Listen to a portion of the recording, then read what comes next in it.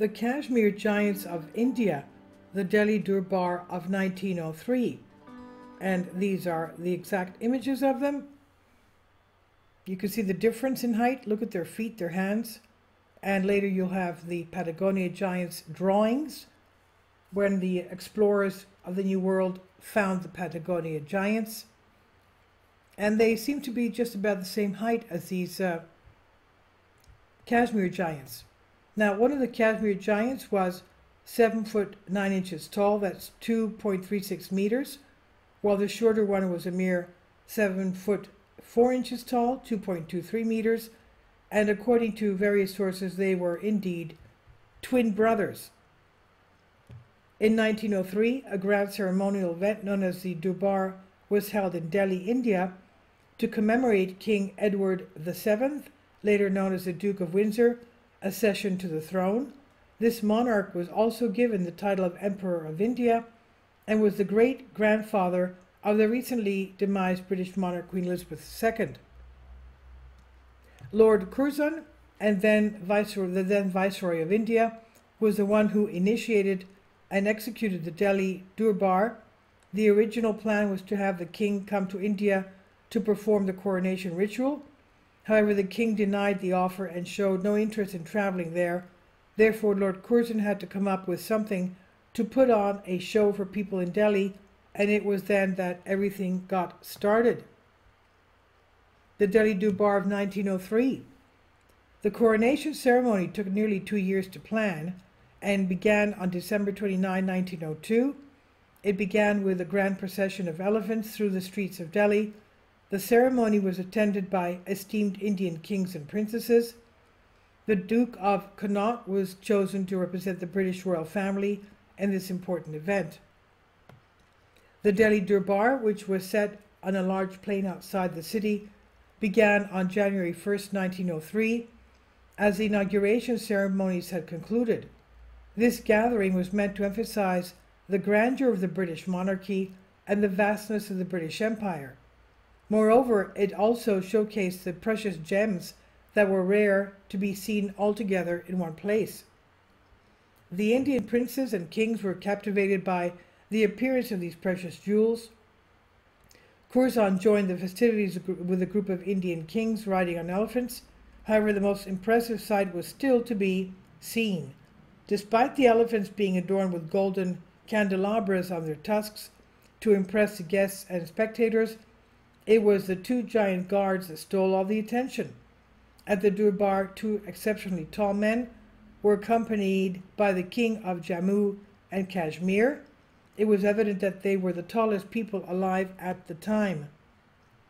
The two Kashmir giants, they captured the full attention of the crowd, and as they were quite a sight to behold, one of the Kashmir giants stood at an impressive feat of five, seven foot nine, while the other giant measured 7 foot 4 inches in height, and according to reliable sources, these extraordinary individuals were in fact twin brothers. Now, the towering figures of these two remarkable individuals, I could imagine the poor mother when she was carrying, pregnant with these twins. They must have been huge babies. Now, the towering figures of these two remarkable individuals from Kashmir made a striking impact at the Durbar these extraordinary men were not only highly skilled riflemen, but also devoted their lives to serving their king.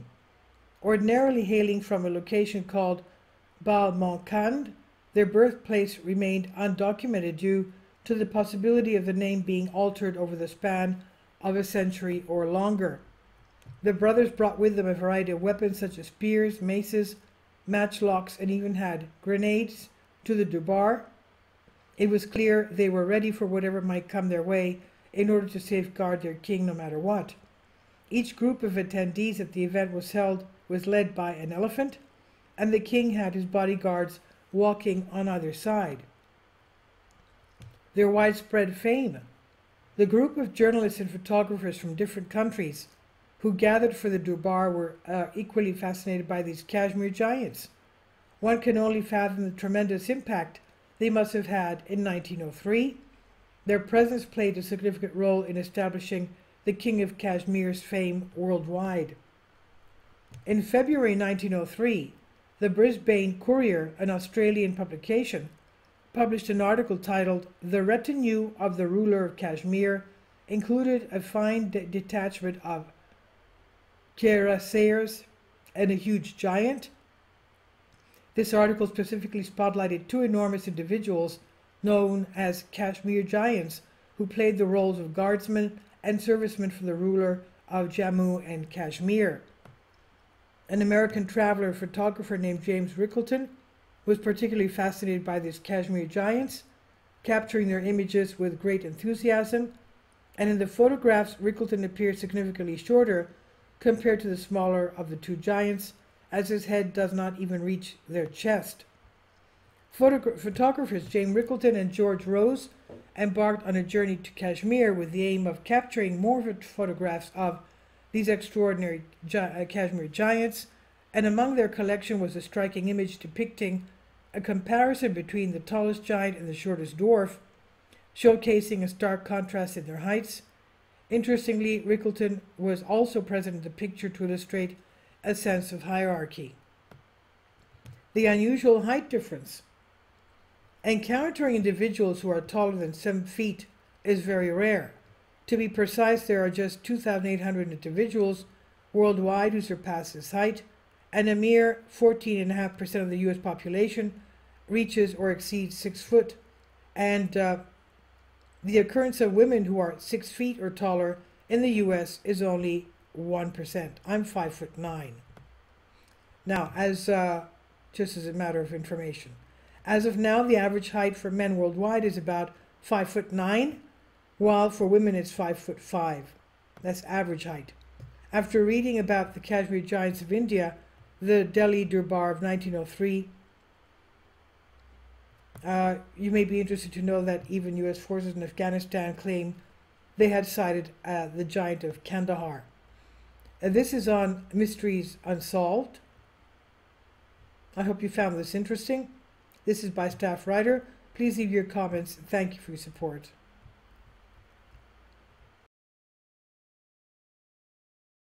Only support my Patreon account.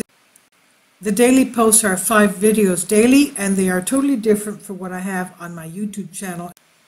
Thank you so much for your support and that you find all my content so interesting. You'll find the Patreon account details in the description box below.